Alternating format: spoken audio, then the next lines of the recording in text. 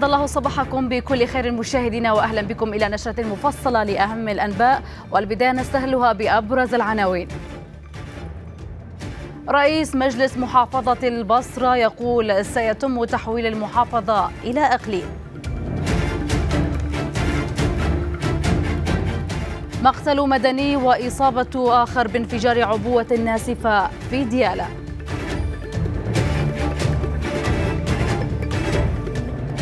التحالف العربي يعلن إسقاط طائرتين مسيرتين للحوثيين في أجواء السعودية.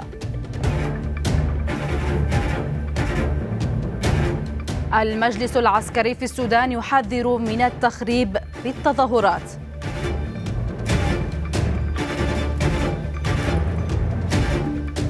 وأردوغان يؤكد عدم تراجع بلاده في صفقة إس 400 والى التفاصيل أهلا بكم. اجتمع رئيس إقليم كردستان نيشيرفان بارزاني مع وفد رفيع المستوى من مجلس الأمن الدولي في العاصمة بغداد. ويضم وفد إقليم كردستان رئيس برلمان كردستان فالا فريد ووزير الداخلية كريم شنغالي ومسؤول دائرة العلاقات الخارجية فلاح مصطفى بالإضافة إلى المتحدث باسم حكومة إقليم كردستان سفين دزايي جدير بالذكر أن وفد مجلس الأمن الدولي كان قد وصل في وقت سابق من اليوم إلى بغداد وأجرى اجتماعا مع رئيس الوزراء العراقي عادل عبد المهدي. اجتمع رئيس إقليم كردستان نيتشيرفان بارزاني مع رئيس جمهورية العراق الدكتور برهم صالح في بغداد حيث جرى بحث شامل للأوضاع والمستجدات السياسية والأمنية في البلاد. كما بحث الجانبان آخر التطورات السياسية على الصعيدين الإقليمي والدولي واكدا على ضرورة الابتعاد عن الصراعات والأزمات في المنطقة. واعرب نيتشيرفان بارزاني عن رغبته الجادة لبدء حوارات بناءة وتحقيق تفاهمات مشتركة مع الحكومة الاتحادية بشأن المواضيع والملفات ذات الاهتمام المشترك. بدوره أكد صالح على أهمية التنسيق والتشاور بين جميع الأطراف وضرورة الاستناد إلى الدستور والمصلحة الوطنية بشأن المسائل العالقة والوصول إلى رؤى مشتركة.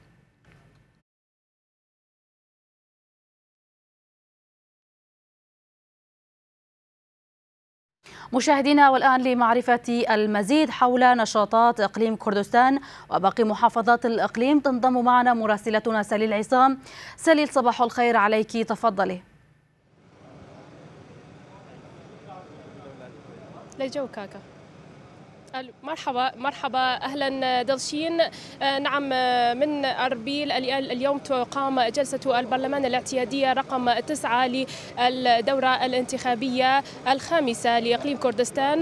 من المقرر أن تقوم يقوم البرلمان اليوم بالتصويت على أسماء المرشحين في حال تم تقديمها من قبل مسرور برزاني رئيس الوزراء المكلف في إقليم كردستان. أيضا تقام اليوم عدة نشاطات إضافة إلى نشاط جلسة اليوم حيث يقام اليوم نشاط مهم اقتصادي تقام أول قمة تجارية اقتصادية بين إقليم كردستان وتركيا. طبعا هذا هذا المؤتمر يهتم بتطوير الاقتصاد والارتقاء بالاقتصاد في إقليم كردستان. يقوم به الفرع أربيل لاتحاد المستوردين والمصدرين العراقيين في إقليم كردستان كردستان. آه هذا المؤتمر بحضور عدد كبير من التجار وكذلك من المسؤولين. آه إضافة إلى المتحدث باسم حكومة إقليم كردستان آه سفين تزي وأيضا محافظ أربيل نوزاد هادي. أيضا عدة نشاطات أخرى تقام اليوم في مدينة أربيل حيث تقام أيضا مؤتمر صحفي وأيضا تقام بعد قليل مؤتمر صحفي في برلمان إقليم كردستان حول من المقرر حيث يتم التصويت اليوم على أسماء المرشحين. طبعا دشين كما ترين الآن فإن لا يزال بانتظار مؤتمر صحفي يقام بعد قليل حيث ستبدأ جلسة البرلمان في الساعة الحادية عشر. وبعدها سيكون هنالك عدة مؤتمرات صحفية للإدلاء بأهم ما ستتضمن له هذه الجلسة. نعم تلشين. نعم مراسلتنا سالي العصام. كنت معنا مباشرة من أربيل. شكرا لك. مشاهدينا والآن ننتقل بكم إلى بغداد وتنضم معنا مراسلتنا ندى المرسومي. ندى صباح الخير عليك. ما هي أبرز النشاطات في بغداد ومحافظات العراق اليوم؟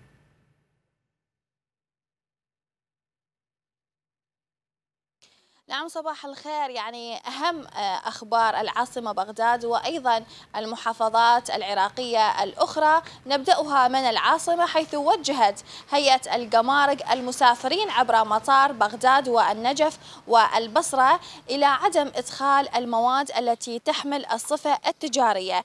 آه، كذلك هنالك آه، إجراءات أمنية مشددة على السفارات في العاصمة بغداد وأمانة العاصمة تعلن المباشرة بالمرحلة الثانية لصيانة آه، نفق الزيتون. أما لو انتقلنا إلى محافظة البصرة حيث آه، قال رئيس مجلس البصرة سيتم تحويل البصرة إلى أقليم ولا ننتظر العطف من أي أحد.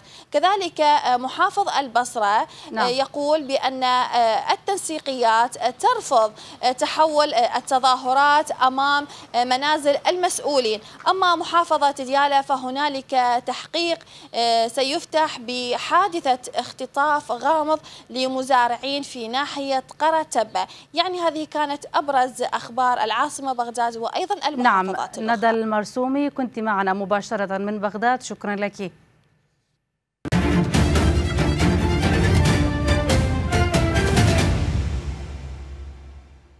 أكد رئيس مجلس محافظة البصرة صباح حسن البزوني تحويل طلب إنشاء الإقليم من رئاسة مجلس الوزراء إلى الأمانة العامة للمجلس. وقال البزوني في بيان له أن الحكومة الاتحادية والمحافظات الوسطى وكل من لديه نفس مركزي لا تريد إقامة إقليم البصرة مبينا أن الأمور القانونية بطلب من التحويل تجري وفق السياق.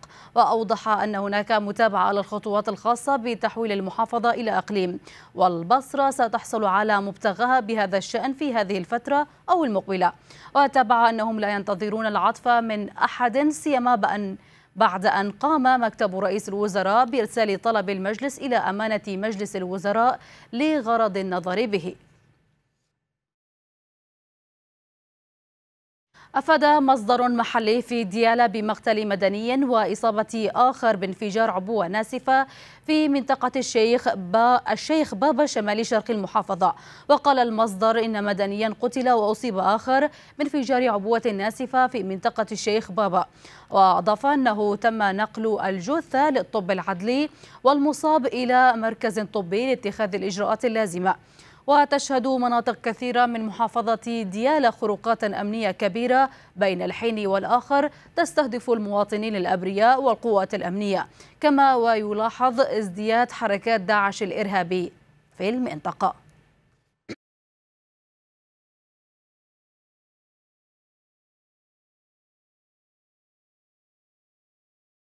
ذكر المتحدث باسم كتائب حزب الله جعفر الحسيني أن اقتحام السفارة حق طبيعي للمتظاهرين للتعبير عن غضبهم من استضافة البحرين مؤتمرا تدعمه الولايات المتحدة لتعزيز السلام بين العرب والإسرائيليين. الحسيني قال إن أنصارهم كانوا يشكلون غالبية المتظاهرين خارج سفارة البحرين في بغداد أثناء تعرضها للهجوم. وكان العشرات قد اقتحموا مساء الخميس سفارة البحرين في بغداد ورفعوا العلمين العراقي والفلسطيني بعد إنزال العلم البحريني بحجة التعبير عن احتجاجاتهم على ورشة المنامة التي حضرها إسرائيليون لمناقشة الخطة الأمريكية. للسلام في الشرق الأوسط.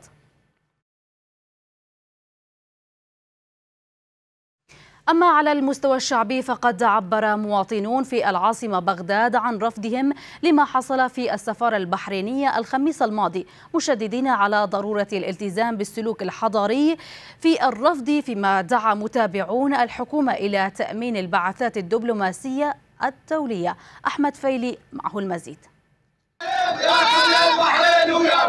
ما حصل في السفارة البحرينية في بغداد قبل أيام ما زال يثير الجدل في الأوساط الشعبية العراقية. فالآراء متباينة بشأن مؤتمر المنامة وما يهدف إليه لكن الإجماع على استنكار اقتحام مبنى السفارة كان العامل المشترك لدى العراقيين. خصوصا أن ما حصل أحرج الحكومة العراقية. وجود المتظاهرين في السفارة البحرينية بهذه العنجهية هذه لا ليست من آداب العراقيين ولا من آداب المتظاهرين. المتظاهر هو سلمي المتظاهر لا يأخذ معه غير العلم وكلمة الصدق وكلمة الحق. هذه يعني إهانة إلى الدولة العراقية. يعني أكبر إهانة للدولة العراقية أن يرفع علم سفارة تحت حماية هذه الدولة. الاعتداء آه، على السفارة البحرانية في العراق هو آه، بمثابة آه، اعتداء على الدولة العراقية. فيما وصف المتابعون ما حصل بأنه انتهاك للأعراف الدبلوماسية مؤكدين على ضرورة تأمين البعثات الدبلوماسية الدولية وحمايتها من أي اعتداء قد يؤثر سلبا على سمعة العراق في المحافل الدولية. أو التمثيل الخارجي يجب أن نعيد الحسابات وترتيب الأمن في هذا الخيار لأن الخيارات الدبلوماسية مهمة في عودة العراق إلى حضنه الدولي ويكون له دور قوي ومحور قوي في المنطقة. واليوم كل الوفود العراقية العربية والدولية هي اليوم تشكل منعطف في حضورها إلى العراق وأيضا للعراق دور محوري في منطقة الشرق الأوسط. لذلك أجدد أن الاعتداء على السفارة هو أمر مرفوض من جميع الشعب العراقي والحكومة العراقية ويجب معالجة هذا الملف بأسرع وقت ممكن حتى نعطي انطباع لمجلس الأمن ولكل دول العالم بأن العراق فعلا عائد إلى مكانته الطبيعية كمحور في حفظ حفظ الأمن والاستقرار وتعزيز العلاقات الخارجية في المنطقة. وعلى خلفية ما حدث مساء الخميس الماضي فإن الحكومة البحرينية قد استدعت القائمة بأعمال السفير العراقي في المملكة وسلمته مذكرة احتجاج.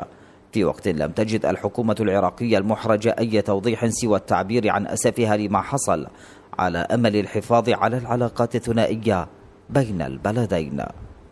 من بغداد أحمد فيلي زاغروس تيفي أعلن زعيم تيار الحكمة الوطني عمار الحكيم عن تعرضه لضغوطات وتهديدات حكومية منذ تبنيه خيار المعارضة السياسية. وقال الحكيم في كلمة له خلال احتفالية أقامها مكتبه في بغداد بمناسبة الذكرى التاسعة والتسعين على ثورة العشرين أنه منذ إعلانه المعارضة السياسية بدأت تتولى الشكوى الحكومية ضده وضد قناته الفضائية وضد أي تحرك أو تغريدة على مواقع التواصل الاجتماعي. وأردف حكيم أنهم لن يرضخوا في تياره ولن يسمحوا بهذه التهديدات مؤكدا أنه لا ديمقراطية بلا معارضة. ودعا زعيم تيار الحكمة الوطني الرئاسات الثلاثة لتوفير الغطاءات القانونية لحماية المعارضة السياسية والاجتماعية.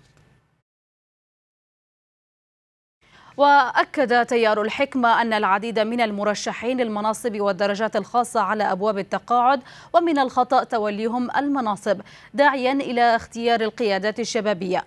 وقال النائب عن الحكمة جاسم البخاتي أن أغلب الأسماء التي رشحها عبد المهدي للمناصب بالوكالة والدرجات الخاصة هم من كبار السن وعلى أبواب التقاعد.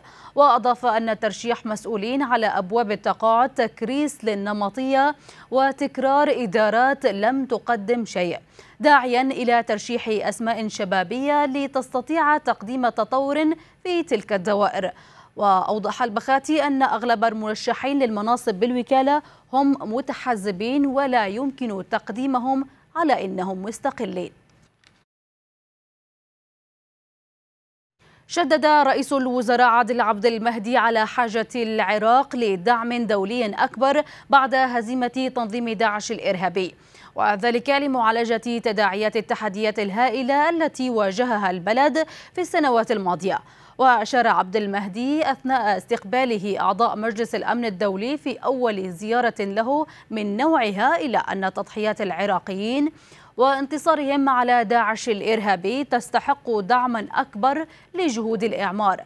بدورهم أشاد أعضاء مجلس الأمن بسياسة الحكومة العراقية وعلاقاتها مع محيطها العربي والإقليمي والدولي وفقا لبيان صدر عن رئاسة الوزراء.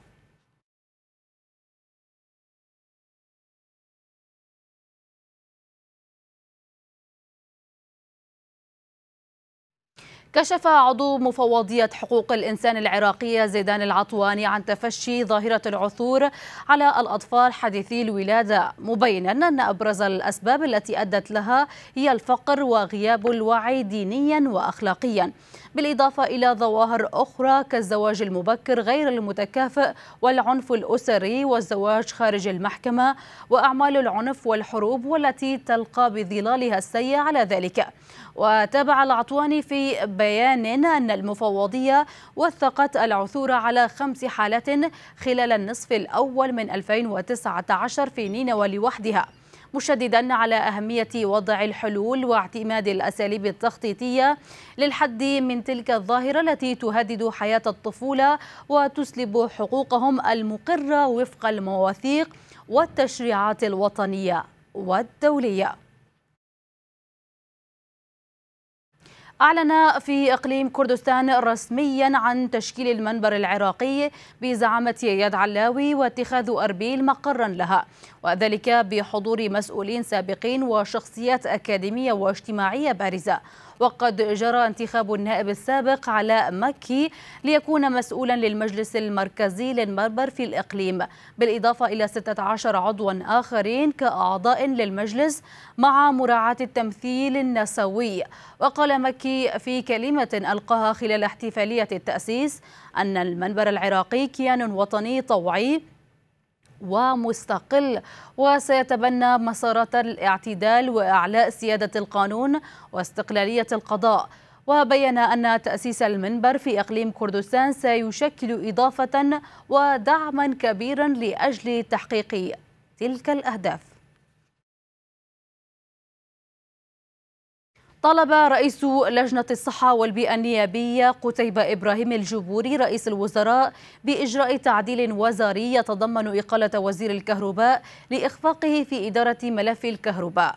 وقال في بيان صحفي أن المحافظات الغربية ومحافظات الوسط من ضمنها صلاح الدين بدون كهرباء منذ ثلاثة أيام. ودرجة الحرارة تعدت 50 درجة مئوية.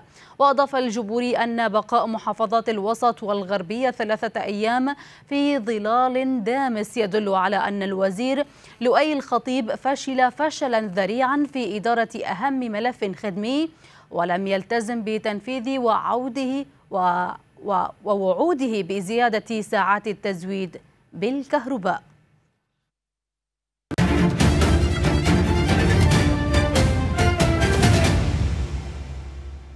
أعلن التحالف العربي اعتراض وإسقاط طائرة مسيرة مفخخة أطلقتها الجماعة الحوثية باتجاه منطقة سكنية مأهولة بالمدنيين في منطقة عسير. كما أعلن المتحدث الرسمي باسم قوات التحالف تركي المالكي أن قوات التحالف تمكنت من اعتراض وإسقاط طائرة بدون طيار أطلقتها الجماعة الحوثية المدعومة من إيران من صنعاء باتجاه جازان.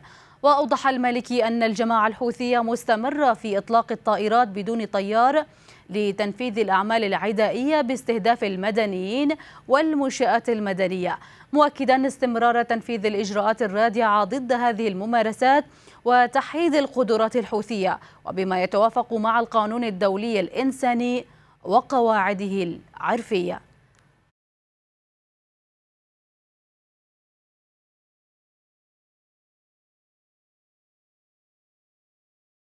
حذر نائب رئيس المجلس العسكري السوداني محمد حمدان دقلو من أنه لن يتسامح مع محاولات التخريب التي قد تتخلل تظاهرة حاشدة لحركة الاحتجاج المقررة اليوم الأحد.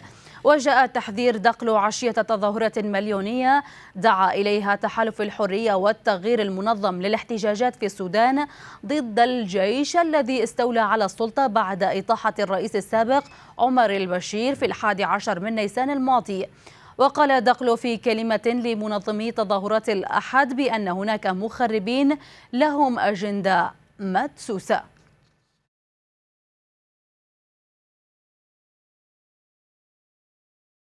تعهد رئيس المجلس العسكري الانتقالي في السودان الفريق أول عبد الفتاح البرهان بالتوصل مع قوى المعارضة سريعا إلى اتفاق لنقل السلطة إلى الشعب. وقال البرهان في خطاب أمام حشد من أهالي مدينة أم درمان أن السلطة يجب أن تعود إلى الشعب عبر حكومة منتخبة ليقرر مستقبله بيده مؤكدا أنه لا مزيد من الإقصاء في السودان.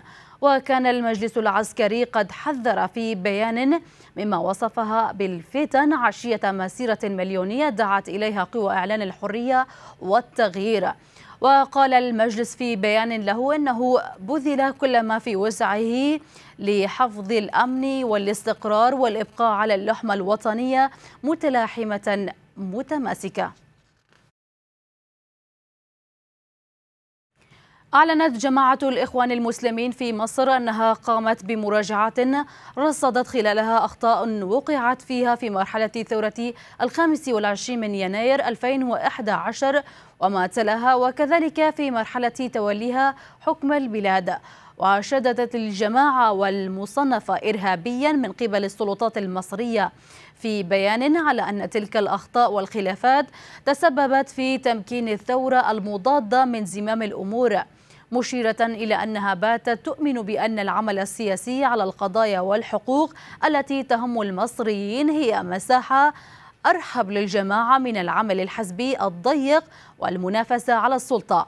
يأتي هذا عشية إحياء ذكرى مظاهرات الثلاثين من يونيو حزيران عام 2013 والتي أطاحت بالرئيس الراحل محمد مرسي من الحكم. قال الرئيس التركي رجب طيب أردوغان أنه لا توجد لا يوجد تراجع في صفقة شراء أنظمة إس 400 الدفاعية من روسيا مضيفا أنه من المهم الانتهاء من أول مفاعل بمحطة أكويو النووية بحلول 2023 وأدلى أردوغان بهذه التصريحات قبل اجتماعه مع الرئيس الروسي فلاديمير بوتين على هامش اجتماع قمة مجموعة العشرين في مدينة أوساكا اليابانية. وحذرت الولايات المتحدة من أنها ستفرض عقوبات على تركيا إذا مضت قدما في صفقة إس 400 ولكن تركيا رفضت هذه التحذيرات وقالت أنها لن تتراجع.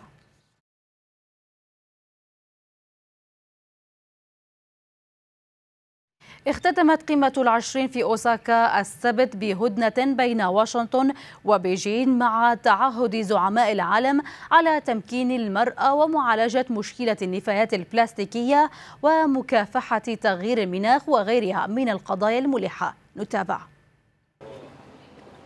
بدأت الجمعة أعمال قمة مجموعة العشرين والتي تستمر ليومين في المدينة الساحلية أوساكا. بدعوة من اليابان إلى الانسجام وسط خلافات عميقة بين قادة العالم واستمرار التوترات حول العولمة والمناخ وشكل التحرك السياسي والتوترات الجيوسياسية والاتفاق النووي الإيراني والحرب التجارية بين واشنطن وبكين. ودعا رئيس الوزراء الياباني شينزو آبي خلال كلمته الافتتاحية إلى الانسجام وإيجاد قواسم مشتركة. بدلا من التركيز على المواجهات وستبحث القمة ملفا شائكا وهو المناخ الذي ترفض الولايات المتحدة أي حديث عن الاتفاق المناخي الموقع في باريس. كما يرفض قادة آخرون أي انتقاد غربي لسياستهم البيئية. وأكد مراقبون أن ملف المناخ هو الأكثر صعوبة في القمة. وسلطت وكالة الأنباء الأضواء على الرئيس الأمريكي دونالد ترامب ورصدت تحركاته وكيفية تعاطيه مع قاده العالم الذين ينتقدهم باستمرار بيد أن الأجواء بدت ودية حيث أشاد ترامب بالصناعه اليابانية بعد أن كان قد انتقد علنا اعتماد اليابان عسكريا على الولايات المتحدة الأمريكية وأعرب عن رغبته بالتوصل إلى تفاهم مع الهند التي ينتقد سياستها التجارية. واعتبر أنه لا داعي للعجلة فيما يتعلق بمسألة حل التوترات مع إيران وأجرى حوارا وديا مع الرئيس الروسي فلاديمير بوتين وهدده مازحا أن لا يتدخل في الانتخابات الأمريكية. كما تبادل أطراف الحديث مع ولي العهد السعودي الأمير محمد بن سلمان الذي نشرت بشأنه خبيره في الأمم المتحدة تقريرا يشير إلى تورطه في مقتل الصحفي السعودي جمال خاشقجي ومن بين اللقاءات الثنائية على هامش القمة. من المقرر أن يلتقي ترامب نظيره الصيني شي جين بينغ السبت في اجتماع يعتبر قمة داخل قمة لبحث المواجهة بين الولايات المتحدة الأمريكية والصين في سباق الهيمنة الاقتصادية والتكنولوجية في العالم. ويأمل محللون أن تتوصل واشنطن وبكين في أوساكا إلى هدنة لأكبر نزاع تجاري وتكنولوجي بين العملاقين الاقتصاديين. تستأنف حكومة الرئيس الفنزويلي نيكولاس مادورو وفريق زعيم المعارضة خوان غوايدو المفاوضات في محاولة للتوصل لحل للأزمة التي تشهدها البلاد. وذلك حسب ما أفاد مصدر مطلع من الحكومة الفنزويلية. وقال المصدر لرويترز أن كلا الجانبين لم يقرر بعد ما إذا كان سيتجري المحادثات في أوسلو حيث عقدت المحادثات السابقة في بارابادوس مؤكدا أن المحادثات ستبدأ هذا الأسبوع. وشجعت الحكومة النرويجية الطرفين على الاجتماع في أوسلو بمايو ولكنهم لم يتمكنا من التوصل لأي اتفاق لحل الأزمة السياسية والاقتصادية التي أجبرت أكثر من أربعة ملايين فنزويلي على الهروب للخارج.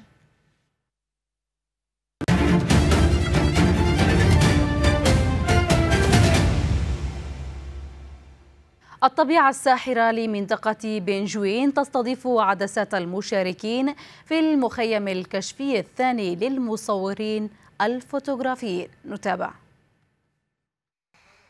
في رحاب الطبيعة الساحرة لمنطقة بيانجوين أقامت منظمة كردستان فوتو بالتعاون مع مركز الرياضة والشباب في بيانجوين المخيم الكشفي الفوتوغرافي الثاني لكوكبة من المصورين المحترفين في جميع مناطق ومدن إقليم كردستان. هذا المخيم هو الثاني الذي آه، يتم إقامته في إقليم كردستان. المخيم الأول انطلق في مدينة طقطق والمخيم الثاني هنا نلتقي مع الطبيعة الساحرة وجبل ملكو في مدينة بينجوين المدينة المحبوبة لدينا. آه، هدف المخيم هو المزج بين الكشفية كحركة رياضية وحركة آه، ينمو قدرات الشباب وبين التصوير الفوتوغرافي كأحدى الفنون الراقية الذي يهتم العالم به بتوثيق لحظة لا يمكن تكراره. وعند مساء اليوم الأول وفي أجواء يغمرها روح الصداقة انطلق المصورون لالتقاط مواضع الجمال المعروفة منها والكامنة في طيات الطبيعة الفتانة بعدسات كاميراتهم. ئێمە زۆربمان پێشتر لە تووری کۆمەڵات تەنها یەکترمانە ناسی ئێساکە زۆر زۆر بەخۆشحاڵیەوە كنا نعرف بعضنا من خلال شبكات التواصل الاجتماعي فقط من دواعي سرورنا جمعنا هذا المخيم من زاخو ودهوك إلى كركوك وحلبجة وقرميان نتبادل الخبرات والتجارب عن قرب فللفن الفوتوغرافي فضاء واسع لا يقف عند حد. التعلم وتبادل الخبرات ضروري جدا. ئەمە توانین سوود لە توانەکان یەکتر وەرگین ئەتوانین سوود لە زانەکانی یەکتر وەرگین ڕەنگە تیامانە بێت زۆ زۆ زانیاری باش بێ. بەڵام ئەو زانیاری کە هەیەی ئەی بەخشە بۆیتر کە کەمتر لەو شارەزان. ونظم المخيم الكشفي الفوتوغرافي برعاية الجمعية العراقية للكشافة ويستمر لثلاثة أيام ومعترف به من قبل الاتحاد العالمي للكشافة العربية. ويتم منح الشهادات المصدقة للمشاركين في المخيم لقناة زاغروس تي في أمير سليم بيانجوين. بذل مئات من رجال الإطفاء جهودا مضنية لاحتواء حرائق غابات في جنوب فرنسا وسط موجة شديدة الحرارة تجتاح أجزاء من أوروبا وصلت فيها درجات الحرارة إلى معدلات قياسية وأودت بحياة ثلاثة أشخاص على الأقل في إيطاليا. وقالت خدمة الطوارئ أن عشرات الحرائق في منطقة جار الفرنسية قضت على 2520 مليون دونب من المزروعات.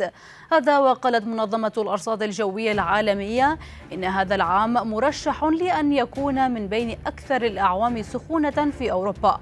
وأضافت أن موجة الحرارة متوافقة مع الارتفاعات في حرارة الجو المرتبطة بظاهرة الاحتباس الحراري في العالم. وفي الختام مشاهدينا تذكير بأبرز ما جاء في نشرتنا من عناوين.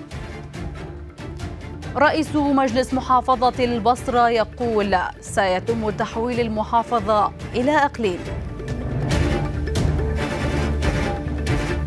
مقتل مدني وإصابة آخر بانفجار عبوة ناسفة في ديالى.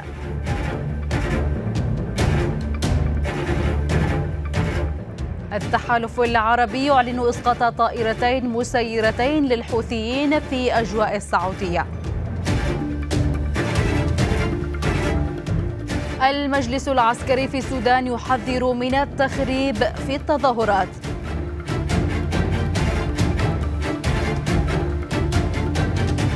وأردوغان يؤكد عدم تراجع بلاده في صفقة اس 400 مشاهدينا وصلنا معكم إلى ختام النشرة. شكرا لحسن المتابعة. إلى اللقاء.